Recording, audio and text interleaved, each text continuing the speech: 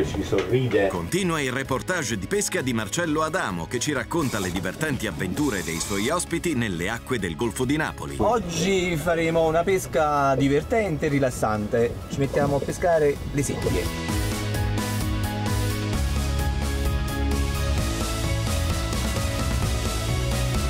Racconti di pesca i nuovi episodi dal 5 luglio ogni lunedì alle 21 in esclusiva su Pesca TV.